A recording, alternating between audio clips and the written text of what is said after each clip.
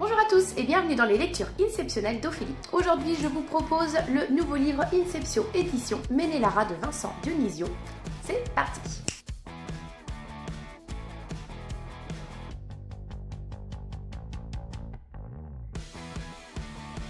Alors donc Ménélara. Donc déjà, vous voyez, par rapport à la couverture, ça donne un petit peu le ton. Euh, on va être sur un roman euh, steampunk, vous voyez bien, euh, voilà, avec toutes ces, un peu ces, rouages, ces machinations, même au niveau des personnages, de, la manière dont ils vont s'habiller. Voilà, c'est vraiment dans ce style, style-là que, que, va être ce roman. et c'est un roman qui va être bourré de stratégie, de complot. Il va falloir dénouer le faux du vrai avec tout ça. Donc en fait voilà, Ménélara, qu'est-ce que c'est? C'est le nom de la ville euh, voilà, où l'histoire va se passer. En fait, euh, il y a quelques dizaines d'années, un architecte a construit cette, euh, cette, ville.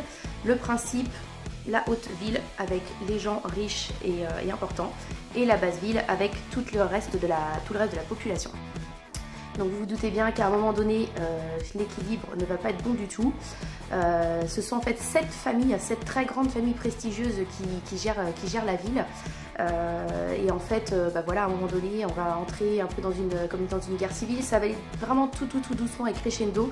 Mais on va se rendre compte que voilà, en bas, il va y avoir des, groupes qui vont se former.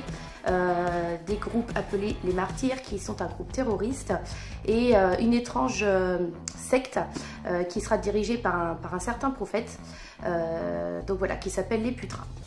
Donc en fait, on va suivre nous les aventures de Gaël. Hein. C'est un jeune homme qui vit une vie tout ce qu'il y a de plus simple et il le souhaite. Euh, vraiment avoir une vie euh, tout ce qu'il y a de plus naturel, sans problème, sans rien. Et voilà, il y a des choses qui vont faire dans sa vie qu'à un moment donné, ben, il va pas avoir le choix, il va vraiment se poser beaucoup de questions. Euh, et voilà, cette atmosphère générale qu'on va avoir dans, ce livre va faire qu'à un moment donné, voilà, il va falloir qu'ils prennent des décisions. Euh, donc, voilà, c'est un milieu euh, assez anxiogène. Je vous ai dit tout à l'heure, il va y avoir beaucoup de complots et de stratégies.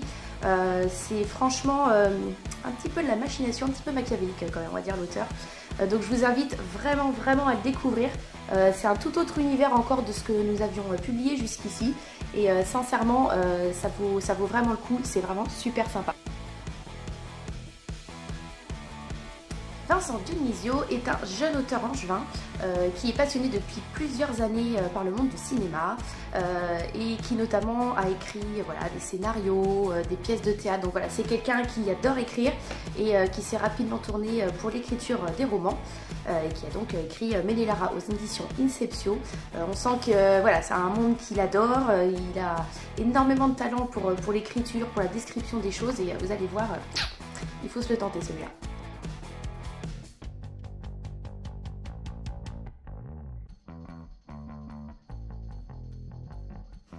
Alors mon avis pour ce tome 1 de Ménélara, déjà je tiens à le dire, petit scoop on va dire, euh, le tome 2 ne tardera pas trop car je sais qu'il y en a qui n'aiment pas trop attendre entre les deux.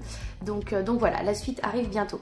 Euh, sincèrement je me suis éclatée avec ce bouquin, comme je vous ai expliqué tout à l'heure, je me répète un petit peu, mais voilà le style steampunk, l'univers que, Vincent Dionisio nous propose est super intéressant. Il y décrit vraiment bien le paysage, vraiment bien les personnages. On rentre en fait tout de suite dans l'histoire. Euh, donc c'est ça qui est bien, on a presque limite l'impression de faire partie de ces petites stratégies euh, politiciennes. Euh, donc sincèrement, j'ai vraiment bien aimé, je me suis imaginé vraiment tout, ce petit monde de, machination et tout ça. c'est pas forcément un milieu qu'on a l'habitude de lire. Après voilà, c'est un roman de fiction, donc ça dédramatise un petit peu tout ça, mais il n'empêche que ça nous fait nous poser des petites questions quand même. Euh, sur, ces, fameux groupes, ces sectes et ces terroristes. Euh, mais voilà, en fait, tout se déroule vraiment super bien. Tout est posé. Euh, on va suivre les aventures de Gaël au fur et à mesure. les aventures de ces groupes. Donc voilà, chacun, chacun va avoir son petit, moment où l'auteur nous explique vraiment bien à chaque fois comment, comment ça se passe, comment les complots, comment les complots se passent. Donc, donc voilà, sincèrement, je vous le redis, découvrez donc Ménélara, un style steampunk qui sort aujourd'hui aux éditions Inception le 14 mai.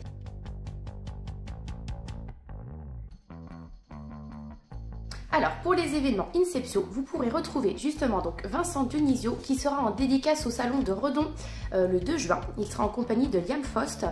Euh, je vous invite à aller sur le site internet, vous avez le petit onglet euh, événements. voilà, vous avez tous les événements pour l'instant qui sont bien confirmés jusqu'à la fin de l'année. Et sachez donc que le 8 et 9 juin, il y aura donc le festival imaginaire. Euh, qui se trouvera donc à Angers, donc samedi et dimanche. Et on aura la chance d'avoir pas mal d'auteurs Inceptio. Nous aurons donc Liam Faust, Vincent Denisio, Juliette Pierce, Lysia Marot et Elina EC. Donc euh, voilà, si vous êtes dans le coin, profitez-en car vous allez pouvoir faire dédicacer tous vos livres.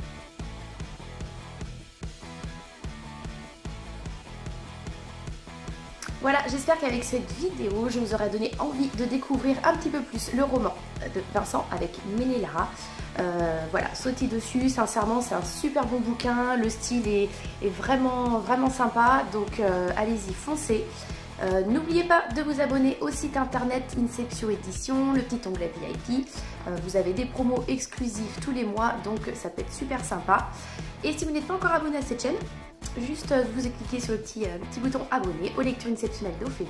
Voilà, voilà. Bah écoutez, je vous souhaite à tous une très très bonne journée et je vous dis à très vite. Bye bye